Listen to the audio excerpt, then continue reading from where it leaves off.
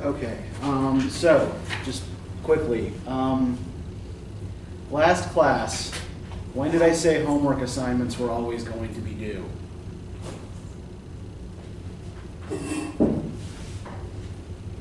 Anybody? When are homework assignments always due?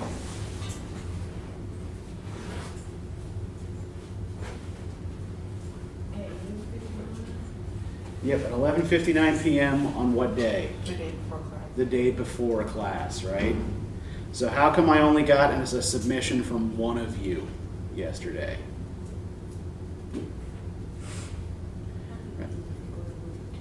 Pardon? Oh, you've been busy. Oh, I'm sorry to hear that. Look, like, I know you all have other classes, I know you all have other things going on in your lives, right?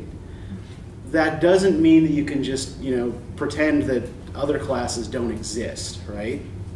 Look, I know that, you know, that most of you in this classroom are nursing students, and you probably don't see how this applies to your future careers. Um, but let's be honest, right? You're frequently going to have to interpret maybe sometimes confusing written directions, right? You are also often going to have to try to figure out what to do in the absence of clear directions, right? You might have to do something to take care of a patient at a time when there is not a doctor there to tell you what to do, right?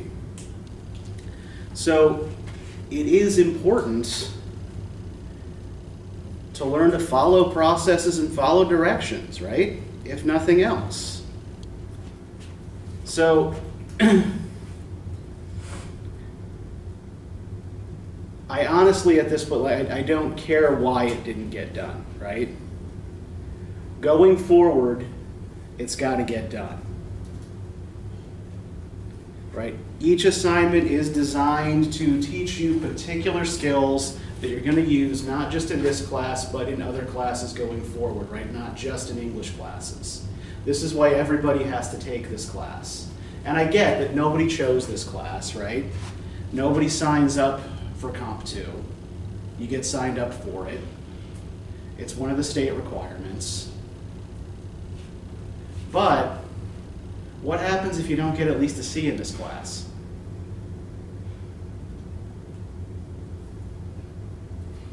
You failed the course. You got to take it again, yeah.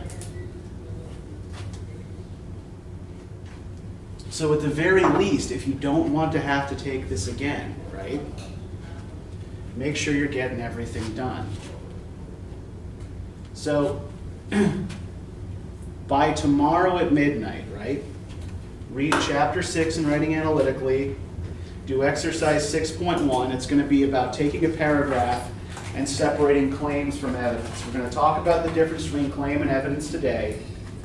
And I'll give you all a sample paragraph to examine and pick apart, right? And you're going to do assignment one on page 176. So you're going to locate on TV, in music, in conversation, in something you read, whatever. You're going to locate three enthymemes and explain what the missing premise is in each. I will explain to you today what an enthymeme is, and we'll do some practice with it, okay? All right, so does anybody have any questions? Is anything at all unclear?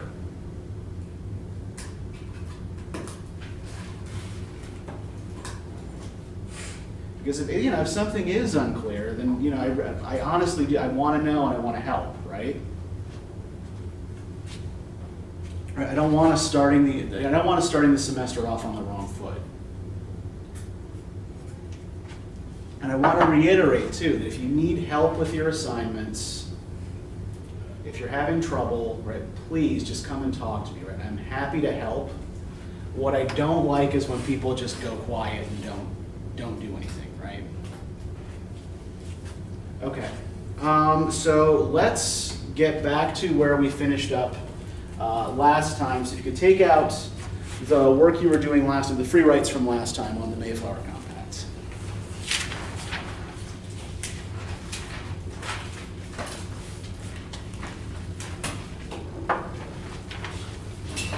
And let's just do a little bit of work with this, and then we'll get into the claim and evidence stuff. Okay, so what did y'all write about this? Anybody willing to start? Yeah, Mikhail. So within this excerpt, they are writing about the journey they, that they are taking to Virginia to plant the first colony in Virginia. They Mhm. spoke about being mutual in the decision, making of this, and how they are serving their beloved king. They spoke about coming together as one together, their ordering, their ordering, preservation, and, and furtherance of, to the end.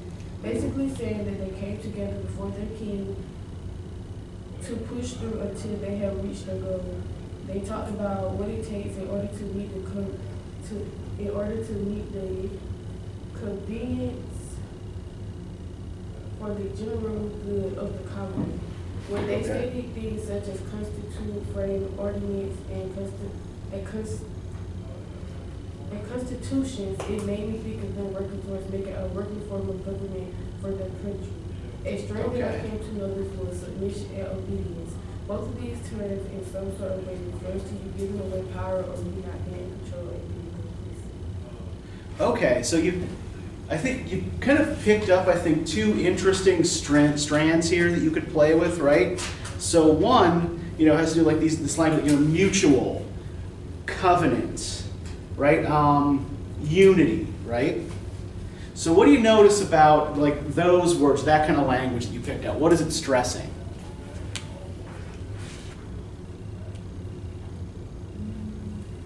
Mutual, covenant, unity. That they need to be together or to come. Okay, yeah, good, right, yeah. So there's this strand that's focused on agreement, right? And, and togetherness, right? Everybody getting on the same page.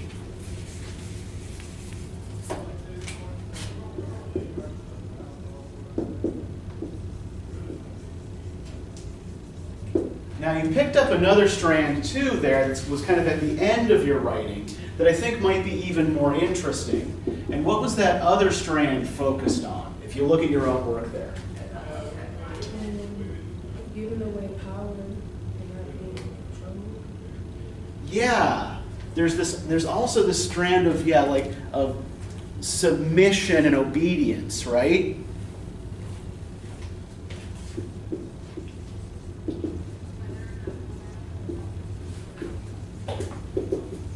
So let's see if we could kind of push that a little bit further, right? Who are they claiming obedience to? So on the one hand, you know, they're forming this society together, right? But in doing so, who are they agreeing to submit to? And I think there are two correct answers here. Okay, on the one hand, the king, right? Who in 1620 was James First. And what other authority are they citing here? Yeah, and also submission to God, right? So, um, I have no idea how good your American history education was in high school. Um, but what, if anything, do y'all know about the Plymouth colonists? You know, those the early New England colonists, about their reasons for coming to North America, or yeah, Ariel. Um, it was mostly to like, one of the reasons was to start a new land, like a new colony, but mostly Yeah. they wanted to spread their religion as well. Like, well, that was one of the reasons. Yeah, so yeah, so there, there was a uh, yeah, there, there was uh, an economic reason. Yeah, there was it was a, a corporation that was intended to make money. Uh, but yeah, they were all there was also a religious freedom element to this, right? Um, that the Plymouth colonists belonged to a group called the you know called Puritans, who did not um, worship kind of in the mainstream of the Church of England, right? So the head of the Church of England is the king, right? The Church of England is part of was part of the state. So there's a kind of interesting tension here in that they're um, agreeing to submit to this monarch who they don't acknowledge as head of the church. But why do you think it matters that they're submitting to James and to God then? What might that indicate?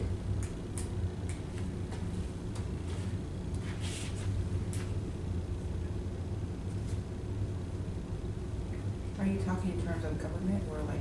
Yeah, in, ter- well, in terms of both.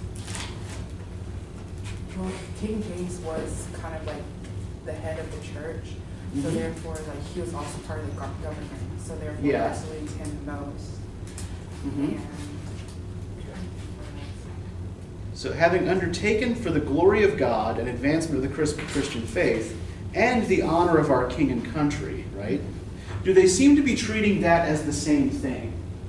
sort of. Okay, well, uh, how, how, in what way, sort of? Think about it.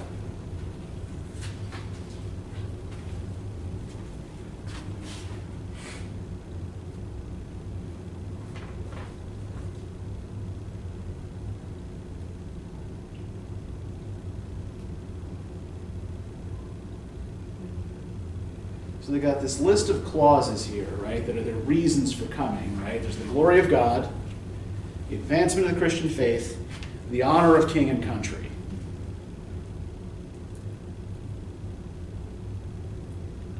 When we look at the way these are kind of put together, kind of listed as three separate clauses in a row, right? Why do you think they do it that way instead of kind of maybe combining the ideas uh, more closely?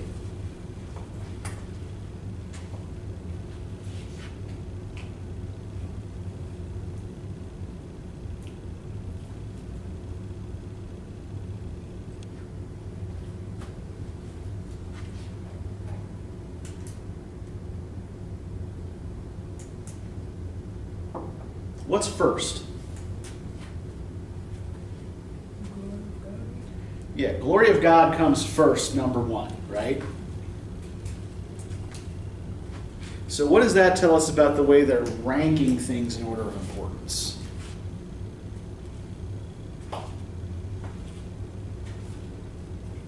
Religious or religion? Yeah, that that comes first, right? Yeah, the, for them, the glory of God, right? Obedience to God comes before anything else, right? And then what's next? What's that?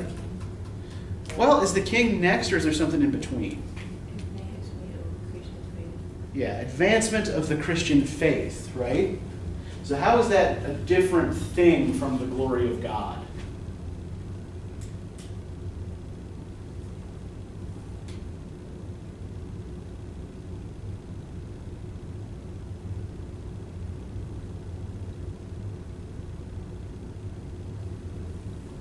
I think that when the glory of God is already a concept, and with the advancement of Christian faith is like to spread it more and get it more. Yeah, it is a different thing, right? You're going from something that just kind of is, right, to something that people actually do, right? So you're moving from a you know a, a thing that is to action, right, to human action.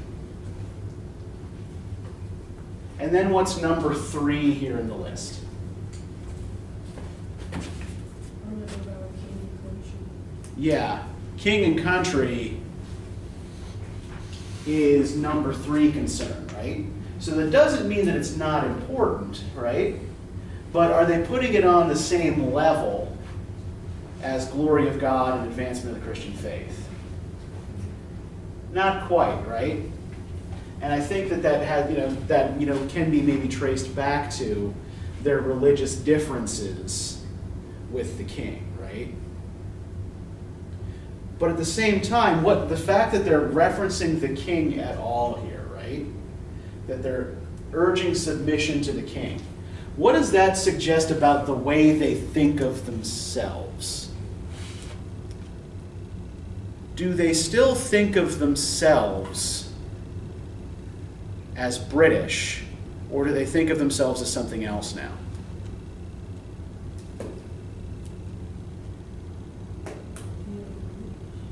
Yeah. Yeah, clearly they, they, they still think of themselves as being subjects of the English king, right? So this is written by people who have left England, right?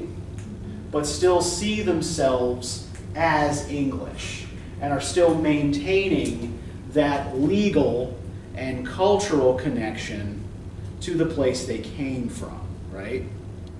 So, you know, we're not seeing as we will, you know, by the end of the 18th century, after the American Revolution, right?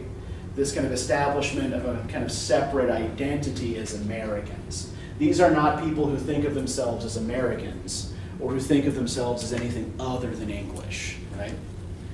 All right. So what the uh, what the rest of you write about this? Who else wants to, to is willing to share what they wrote?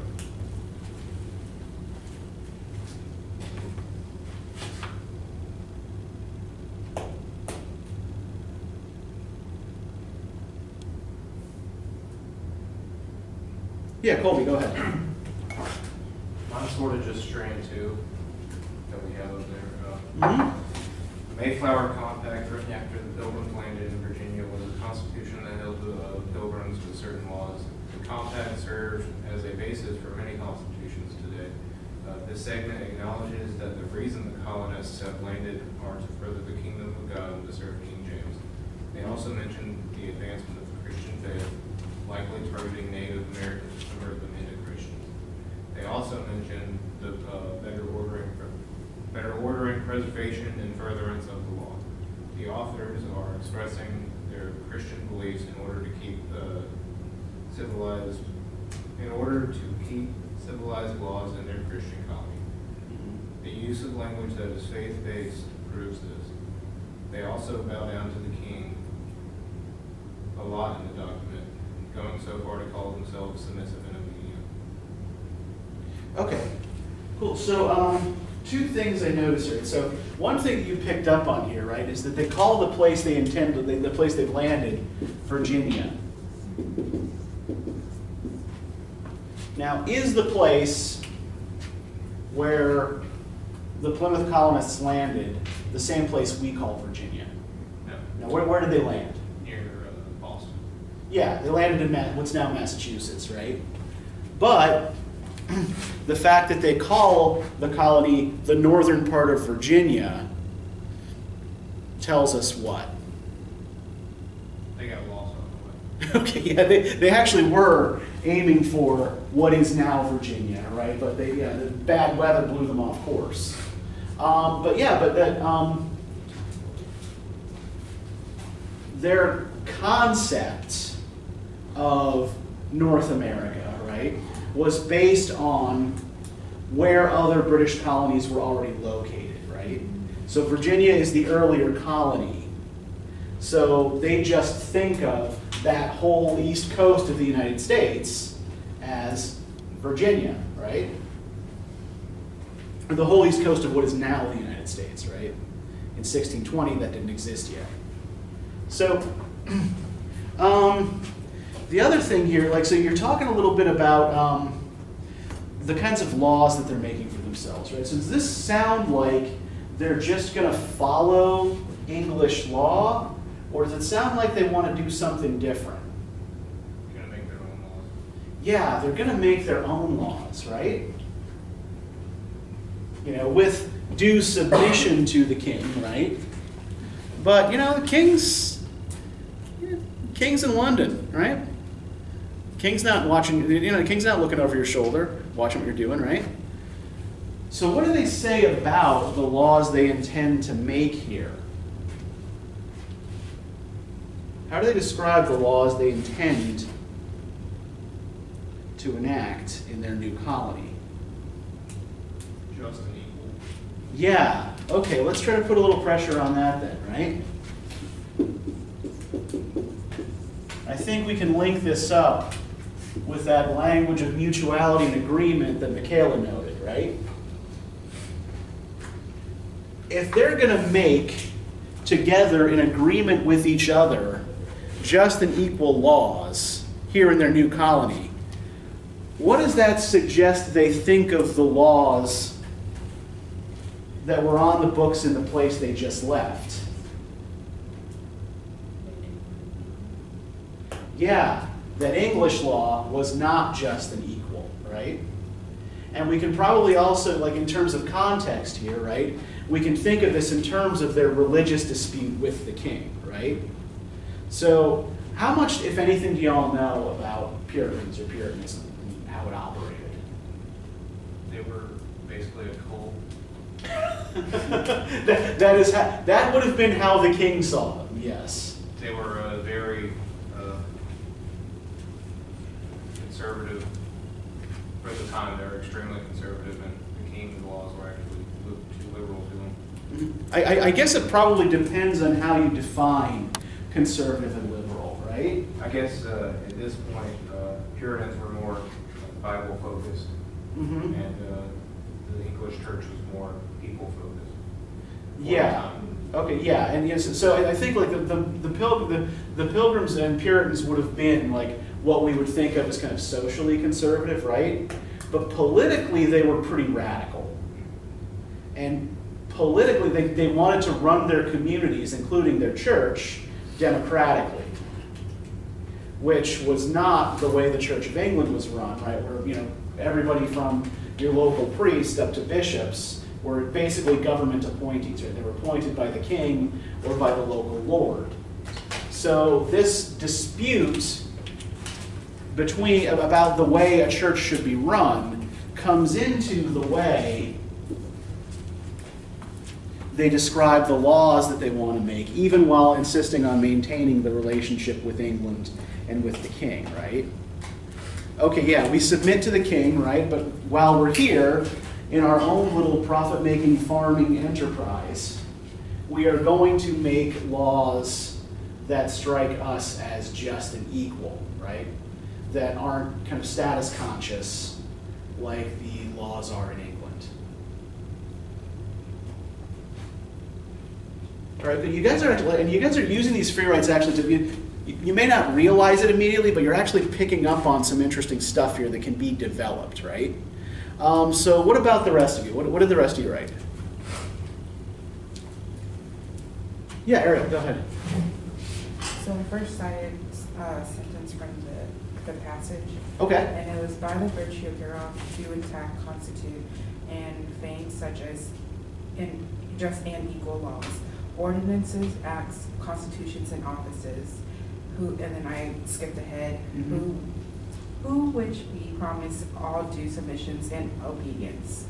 The Uh-huh. passage I believe was point the point of view of the passage bleh, sorry. It's okay. The point of view of the passage, I believe it was written in first person. I believe it was written in Mhm, first sure. person. Mhm. Due to the fact that the author portrays such loyalty and solitude to the king in starting out the colonies and the start of the patriotic tone in a way. Stan, strands have found a lot through the text, with the author baking a lot of biblical aspects in his writing, like Uh-huh. con- constitution of the world, word faith. I believe that the reason for the word faith is due to the fact that people, that people from the old world and are sort of seeing the new world as a blessing due to the fact of the author committing to their submission and obedience. Okay. So yeah, I think yeah, you're, you're hitting on the same a lot of the same language that Colby was. Um, so I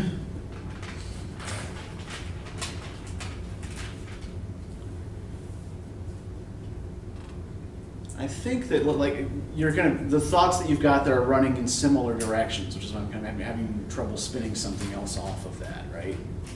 Um, one thing I would kind of maybe direct all of you to do, right? So when they list the uh, titles of King James, right? Do you notice the way they list them?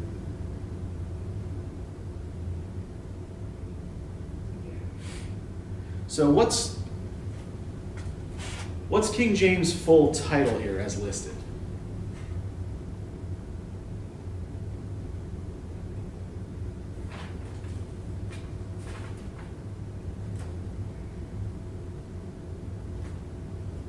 If we look, for example, at the end here, right? In the reign of our sovereign Lord King James, of England, France, and Ireland the 18th, and of Scotland the 54th.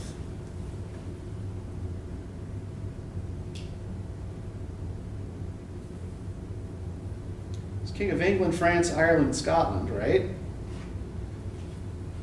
Where was he not king of?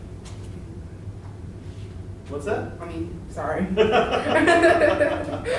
He was my king of the new world, sort of thing. Yeah, yeah. So yeah, this is an English colony, and they're acknowledging themselves as English subjects, right? But they're also, you know, there may be a sense in which they're kind of limiting the king's sphere of authority, right? It's like these are the places where he's king. We're not in those places anymore. So it is thus okay for us to formulate our own body of laws. All right, Shakayla, what about you? What did you write? So this book seems to be about a group of people that are loyal to their king and they are trying to get people to join their religion by trying to persuade them, but they don't want to be overpowered and they don't join it. They believe that everyone should join their religion, they're very religious and uphold their king's name. Okay, so the main thing you were picking up on is the religious language. And yeah, I mean, so yeah, we've got on the one hand, like all of this legal language, right? This is what we agreed to do in this place. But yeah, we noted from the beginning here the importance of a religious vision, right? An idea of place and a purpose that is very closely connected to their religious ideals. So, how does this differ from documents like the Constitution or the Declaration of Independence? It's a very big difference. Yeah, yeah. Well, what, what's what's a lot less? Well, what well one what's com- what's largely missing from the Declaration of Independence and the Constitution, the Bill of Rights? Yeah, they're they're not gone, but they're muted, right? And they're much mu- mu- they're much less Christian specific, right? I think you know the. Um, what's the, the opening of the like the, the openings that they they, rep, they reference you know you know the creator right but not necessarily a specifically Christian uh, creator right and the um, the first amendment to the bill of the first amendments to the Constitution the Bill of Rights guarantees um, free practice of religion right? That no one will have to pay taxes to support a church that they don't attend. Um, so that is, in a way, kind of direct descendant from this Mayflower Compact language, right, where we can start our own, we can make our own laws here that are separate from, you know, the kind of intertwining of church and state in England, right? Um, but yeah, um, there's a lot less specifically Christian language in the Declaration of Independence and the Constitution. Um, though I can think of some politicians who would probably disagree with me about that. Um, but what else is what's completely missing from the Declaration of Independence and the Constitution that we find all over the Mayflower Compact? Yeah, and the whole idea of submission to the king, right? I mean, the Declaration of Independence is all about, you know, all the way that, you know, all the ways in which the king has shat upon us, right? It's a list of grievances against the British king and a demand that they be addressed, right? Whereas by the time the Constitution and the Bill of Rights are written, we're dealing with an independent nation that no longer has a king, right? So we see, like in you know, in the course of about 160 years, or about a century and a half, um, people go from thinking of themselves as English, even if they're living in the New World, to thinking of themselves as something else, right? And this is just kind of like one way in which we, we can kind of like reach back to that something else that people living in what they were calling the New World were before they thought of themselves as Americans, right? Okay.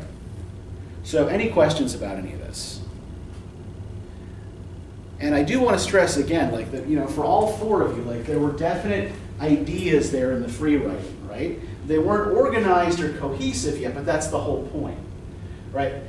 You do the free write, right? You time yourself, and when you're done, You, you look and see what you've got and what you might be able to build on in that, right?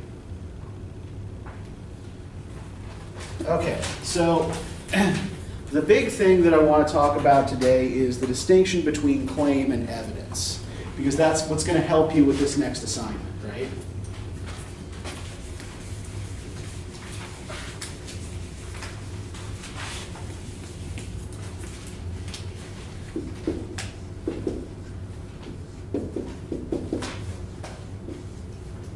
So what's the difference between a claim and evidence? Can anybody tell me or think you can tell me?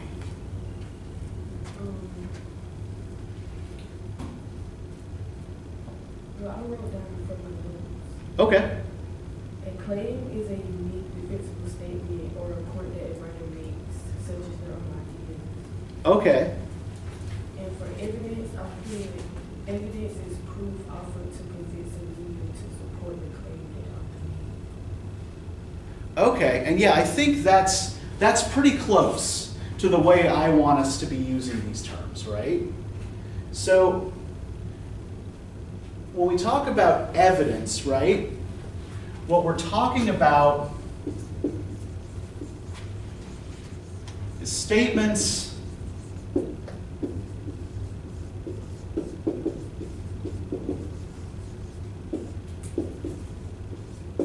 that are objectively true, right? So we don't necessarily have to bring in here the relationship to a claim or an argument or an opinion yet, right? When we talk about evidence, think of like evidence is like data, right?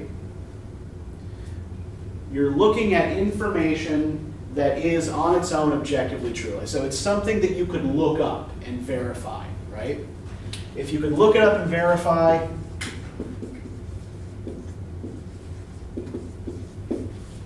evidence. Now, a claim then, if a statement, or if evidence is a statement that's objectively true that you can look up, then what must a claim be?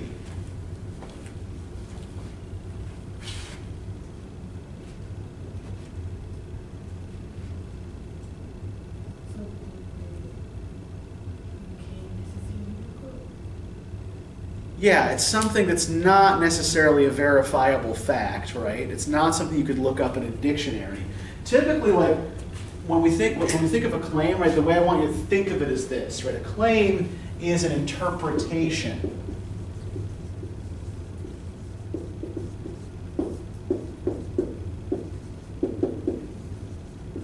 Of evidence, right? It's a conclusion that you come to based on some set or pattern of facts, right? So it's like, okay, I've got this set of facts in front of me. This is what I think they mean, right? That's the claim. So, the first step here before we start trying to make claims is to be able to recognize them in other people's writing. And then we'll talk a little bit about, you know, maybe, you know, ways of evaluating claims, right? So,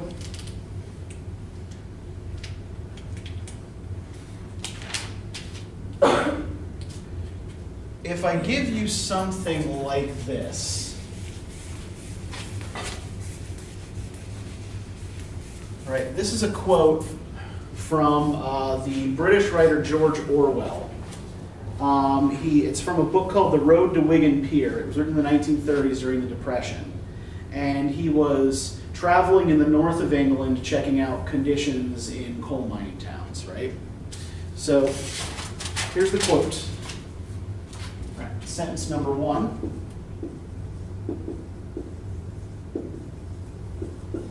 Middle class people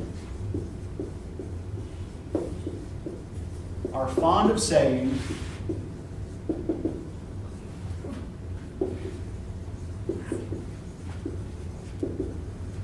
that the miners would not wash themselves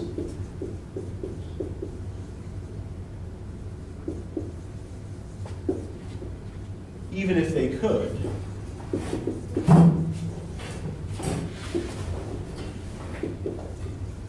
But this is nonsense.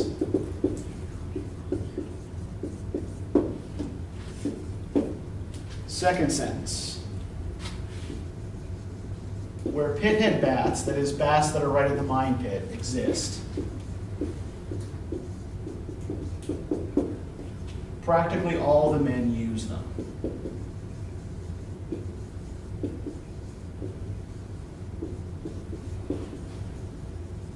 So which of these is a claim and which is evidence?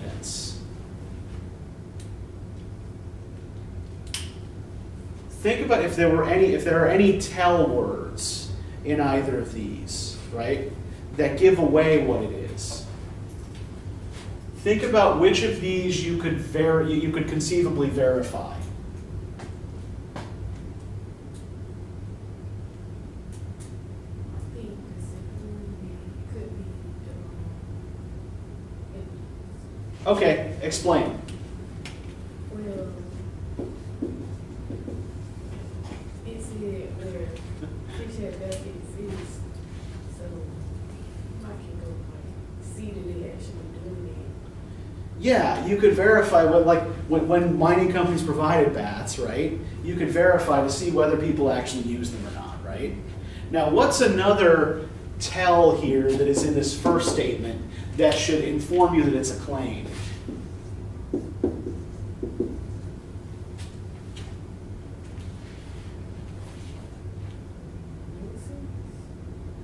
What's that?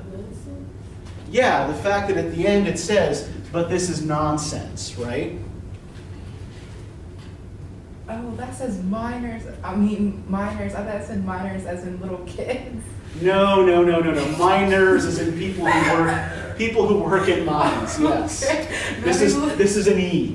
That makes a little more sense now. Yes, this is an E. Okay. The Minors, as in little, like people under 18, that's, that's, has an O in it. Okay. Yeah.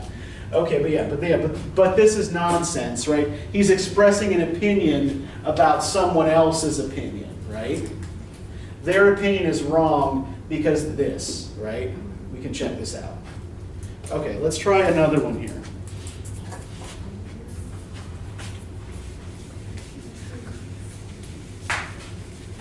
So this is from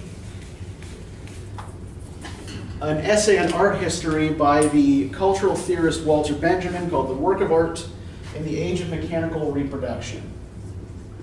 Right, so number one here. Mechanical, mechanical reproduction of a work of art represents something new.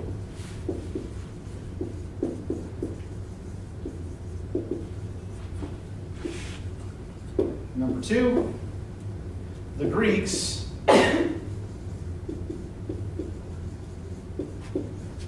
knew only two procedures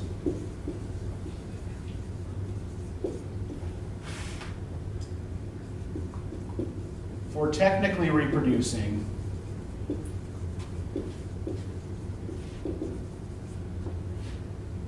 works of art. And stamping.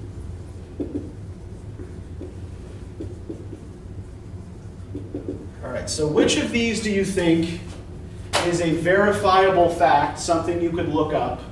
And which of these seems more like an interpretation of that fact?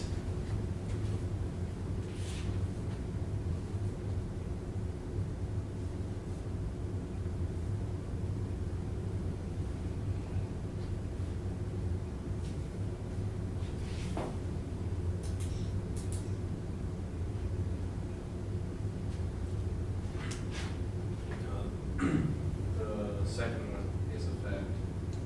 Okay. Verified. Yeah, you can look this up, right? You can verify whether or not the Greeks knew multiple procedures for technically reproducing works of art, right? Which means that number one is the claim because this is an interpretation, right? So if the ancient Greeks only knew these two new ways, right? These two ways, right? Founding and stamping both have to be done by hand. So mechanical reproduction of a work of art, right? This must be something that is new, right? Wasn't known to the ancients, but we know how to do it. This must be something new, right? Okay. So one more.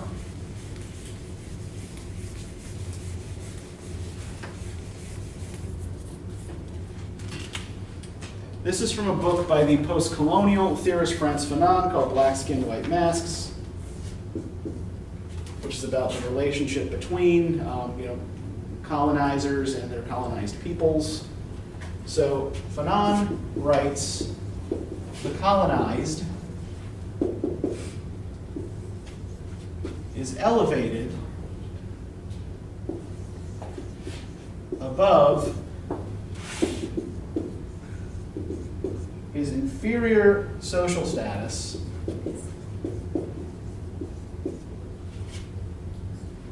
in proportion to his adoption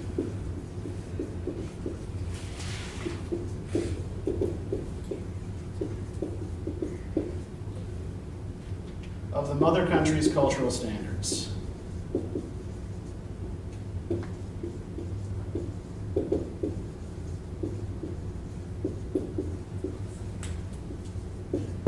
And just kind of want to quickly say that um, if I was in the homework doghouse, I'd be doing a lot less chattering and giggling and a lot more paying attention, all right? I'm not deaf. Number two.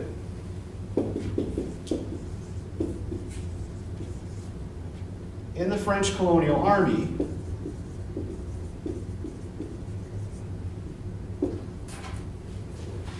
the black officers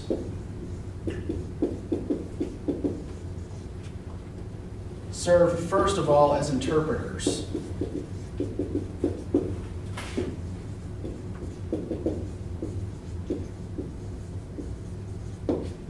All right, again, which of these is something you could look up? The second one is something you could look up, right? If you had access to French colonial army records, right, you could look and see if this was in fact the job that was first assigned to most black officers, right? And yeah, the first one here is an interpretation of that fact. So does anybody have any questions about the relationship between claim and evidence, about how to recognize one or the other and how they're related to each other? So, never mind. No, go ahead. Okay, so basically, a claim is something that's like stated from a person or like from a text, right? And evidence is something that's actually like found true in words to form. Yeah, so um, evidence is basically anything that is objectively verifiably true, right? It could be from any source, like, or does it have to be from like the internet or? like, It should be from it should be from a good source. It should be from a responsible source. Um, so um, I would not call much of what is on the internet good or responsible source. Um, you know, there are good and responsible sources on the internet, right? But there's a lot of shit out there too. Um, so one of the things that you need to be careful about is the kinds of sources that you use. So we'll talk a little bit more about that when we're doing when we're talking about research. Um, but that's something that we do need to be aware of, right? That the sources from which you're getting your information matter, right? Some sources have particular political biases. Um, some sources are written by people who are basically cranks, who are not respected in their field, right? So when y'all took Comp 1,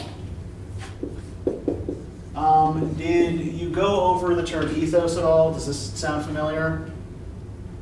Okay, so Colby and Michaela, you guys are nodding. What's ethos? Can't remember? Last time I heard that one was in middle school. Okay.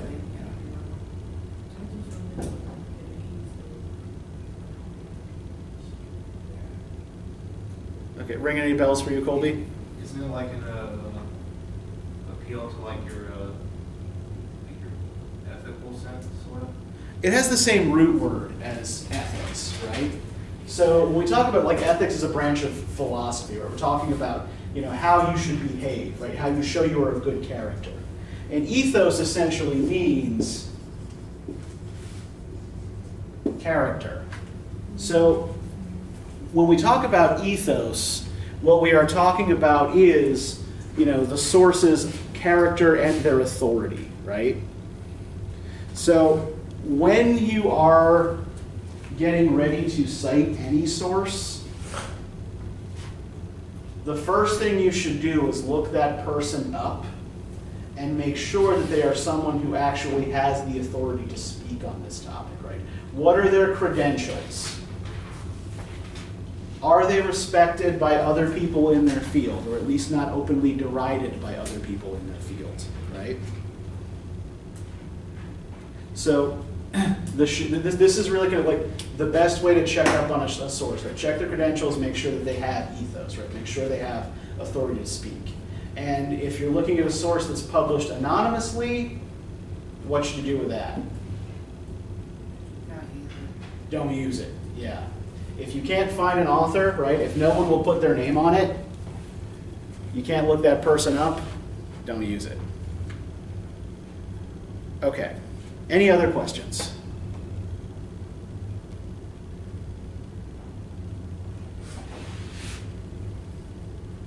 So, when we're talking about this claim evidence relationship, there is an implied relationship between the claim and the piece of evidence that usually goes unstated, right? There's a reason why we draw a particular interpretation from a particular piece of evidence, right? So if we're looking at this example, why can we connect this claim to this piece of evidence? Think about what an interpreter is and what an interpreter does. What's an interpreter?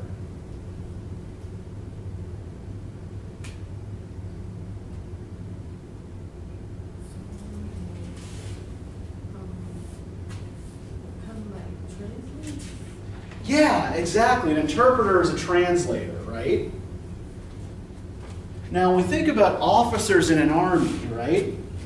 What's the job we usually associate with an officer? What does an officer do? What's that? Protect. Well, do they, do they protect the other troops? Oh, you talking about like. Yeah, in terms of like what their actual function is in the army, right?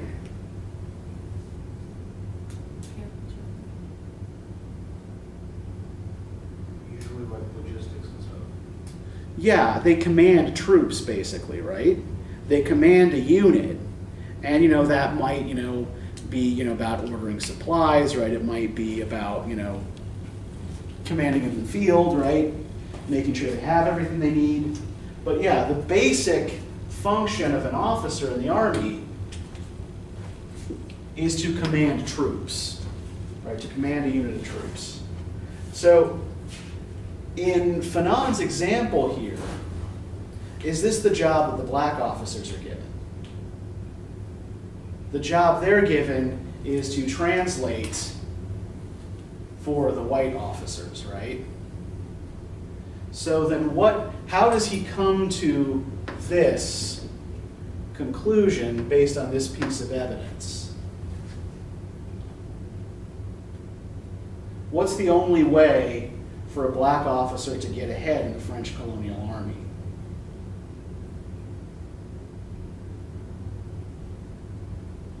Well, for one thing, what does he have to have a good and thorough knowledge of if he's going to be a translator? Language, which language specifically? French Oh. army. yes, he's got to have a strong command of French, right? Whatever his own native language would have been. So, in order to move ahead in a colonized a society colonized by the French, right? A colonized person has to become really conversant with French language and French cultural codes, right?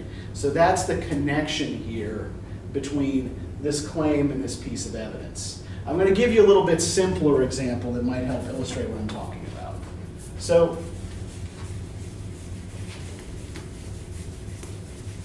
let's say I make the claim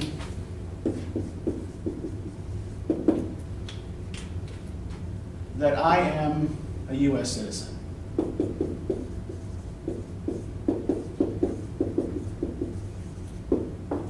The evidence that I use to back this up is that I was born in Pennsylvania. Why can I make this claim based on this evidence?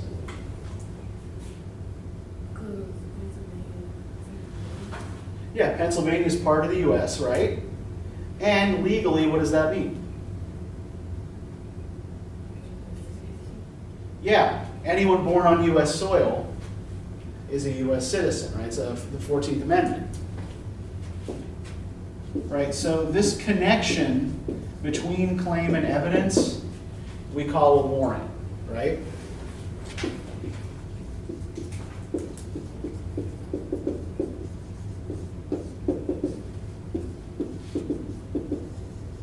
And you will often find that the warrants are unstated in other people's arguments, but when you're writing, I want you to give me this connection, right? I want to know how you get this claim from this piece of evidence, right? Because the big thing that I want to see from you is your thought process, right? I don't want to just see you get from A to C. I want you to give me B as well here? And so practice with enthymemes is one way that we can kind of start doing that, right? So to explain what an enthymeme is, I first have to explain something else to you. Have any of you ever heard the word syllogism before? Totally okay if you haven't. I just you know want to gauge what everybody's prior level of knowledge is here.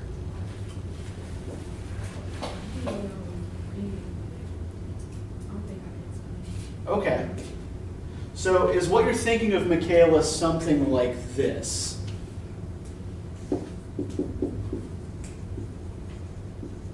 All humans are mortal. Socrates is human.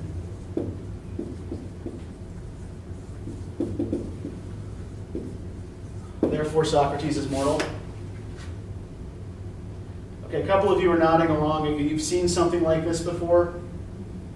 Okay, so what a syllogism is, is a means for testing whether a proposition is logical or not, right?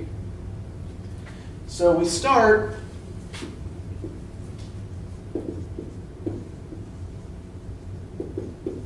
with what we call our major premise, right? This is the general categorical statement we want to make, right?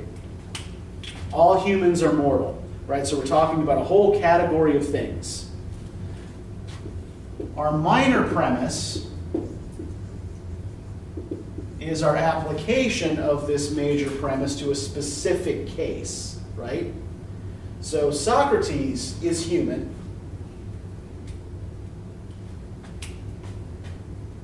Therefore, Socrates is mortal. That's our conclusion, right?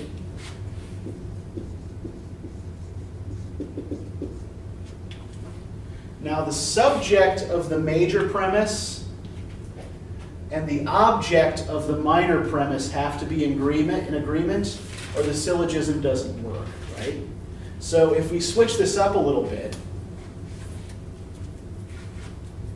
if I say all humans is all humans are mortal, Socrates is mortal, therefore Socrates is human. Does it still work?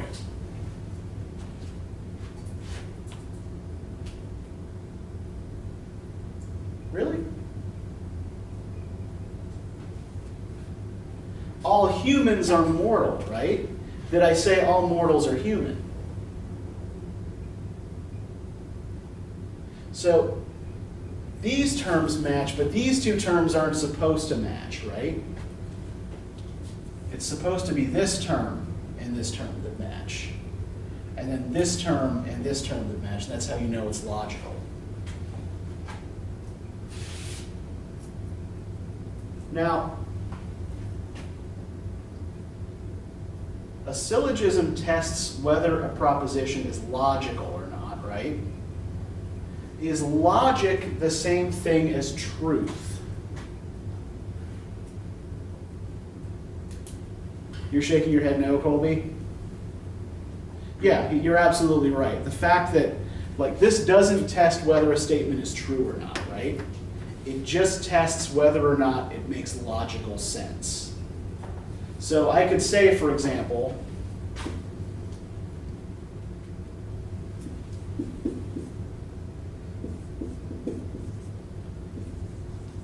that all fish can swim.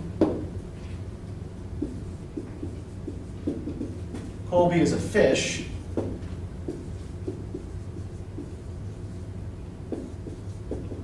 Therefore, Colby can swim. Right now, I can look at you and see that you are not a fish, right?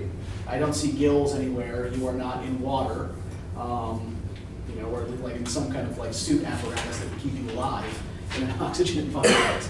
Um, but yeah, um, logically this checks out, right? All the terms are in the right places.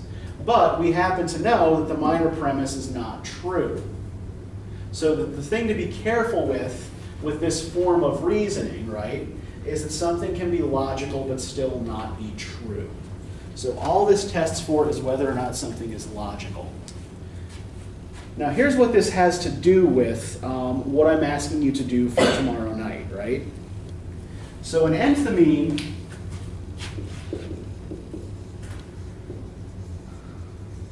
is a syllogism in which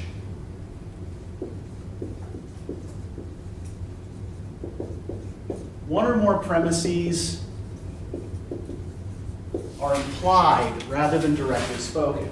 And enthymemes are actually a lot more common than syllogisms are. You see enthymemes actually kind of all over um, our speech, all over movies, all over music, um, all over TV, right? All over advertising in particular. So to give you a relatively simple example here,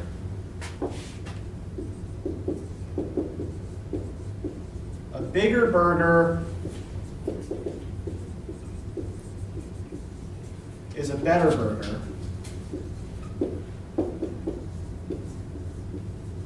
This is an old Burger King ad. The burgers are bigger at Burger King, yes. What's the implied premise here? A bigger burger is a better burger. The burgers are bigger at Burger King. Yeah. Essentially, what they've done here is left off the conclusion, right? And let you come to it yourself. You are supposed to come to the conclusion that the burgers are better.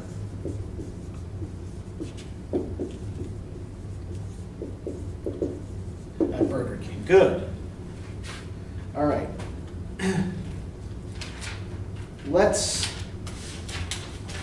try another one just to make sure everybody gets it. Um, this was a line spoken by the lawyer, Johnnie Cochran, at O.J. Simpson's uh, murder trial. He said, if the glove doesn't fit,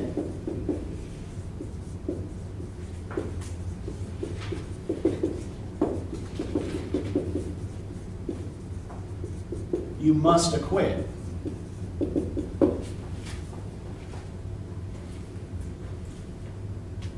What's he implying in this statement when he says, if the glove doesn't fit, you must acquit? Why must you acquit if the glove doesn't fit?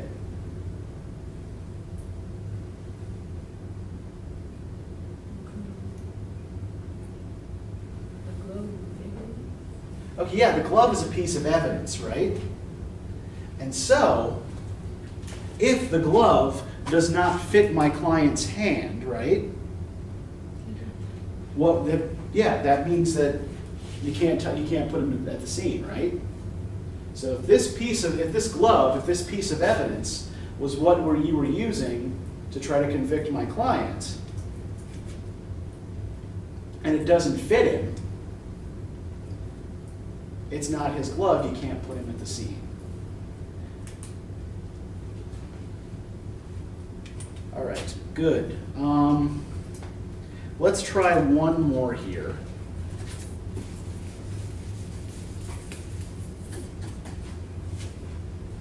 Self absorbed people.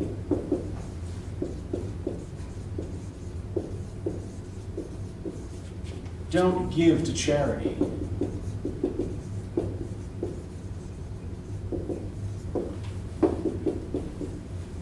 I know that you aren't self absorbed.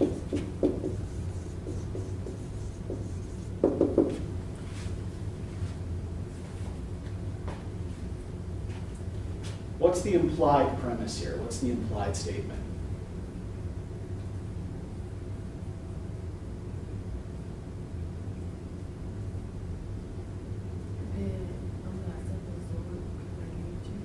God, Can you say that a little bit louder? Yeah, that I know that you aren't self-absorbed, right? So you must give to charity, right? This sounds like a really aggressive pitch, right? That somebody is giving, you know, door to door. It's like you're not a self-absorbed person, right? You're going to put money in my little box. Okay, so does everybody more or less get how this works? Okay, so I want y'all to take maybe five minutes and see if you can come up with an enthymeme on your own, right? So think of this as practice for the homework assignment, right? See if you can come up with one of these on your own. Right? So remember what you're doing essentially is writing a syllogism, but you're but you're leaving one of these premises implied, right? The read your your reader or listener has to figure it out.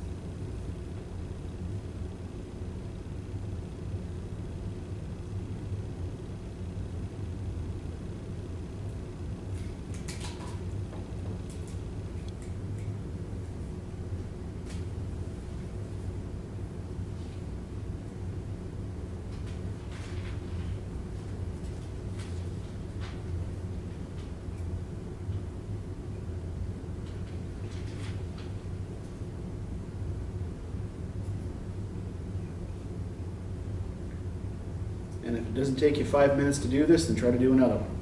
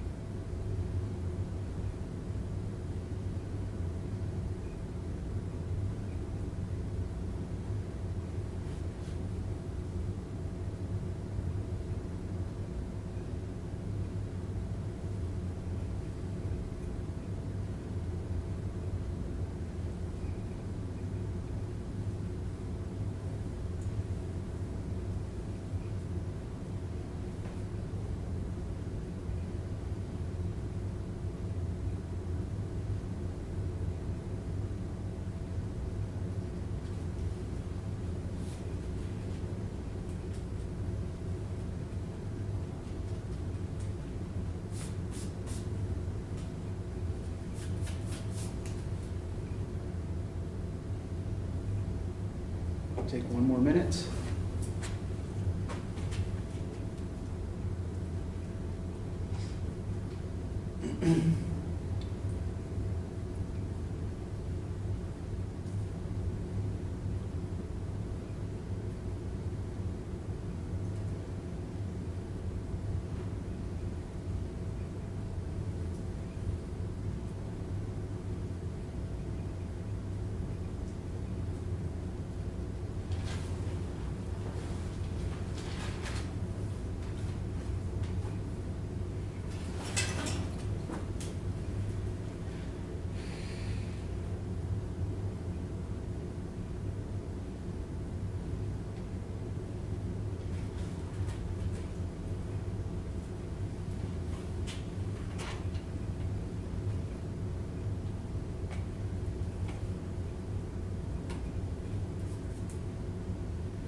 Okay, that's time.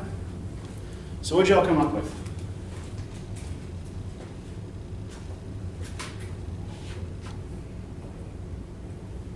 Can everybody jump up at once?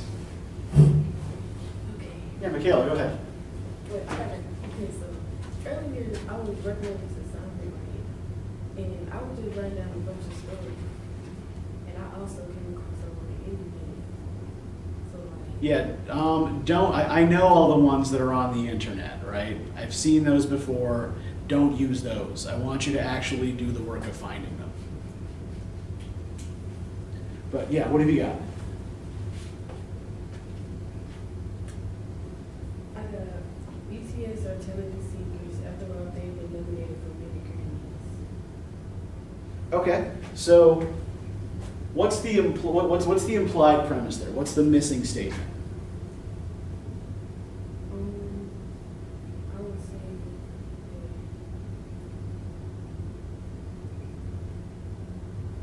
if you've been nominated for many Grammys, you can Okay, yeah.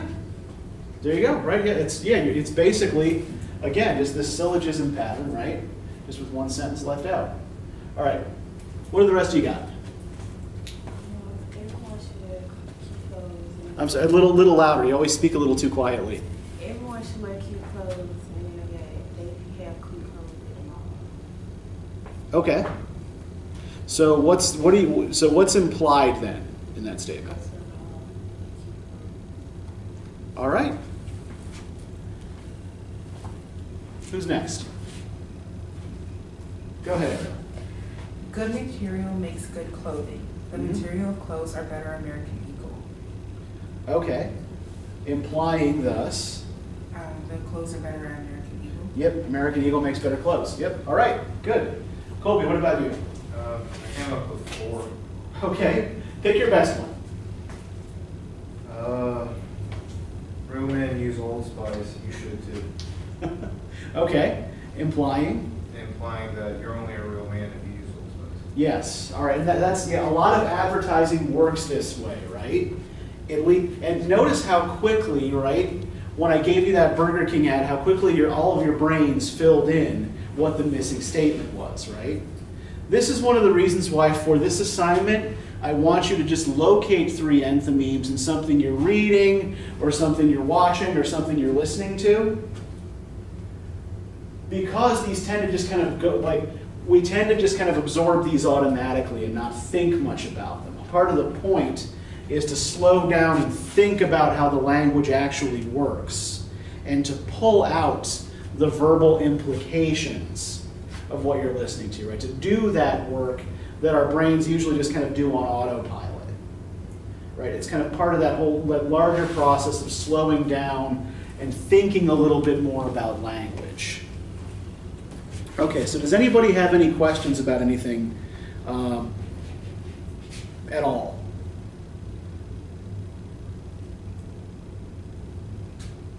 Yeah, Ariel. For the homework you said, I will give, sorry, this is, I just, I was reading the homework again. Yeah, yeah. It says I will give you sample paragraph to examine. Are you gonna give us? Yeah, I'll email you something when I get back to my office. Okay. Mhm, So yeah, yeah, you'll, you'll have you'll have something to work from. And again, like you, you know, it, I'm gonna try to give you something that's not, you know, that's not as difficult as what I've been giving you, but in general, you should be able to um, tell what's a claim and what's evidence based on cues, even if you don't understand all of the words.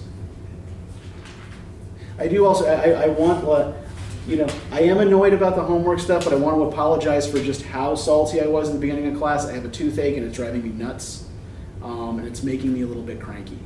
Um, so, there we go. Um, all right, so that is all I have for you today. So you may uh, you may go.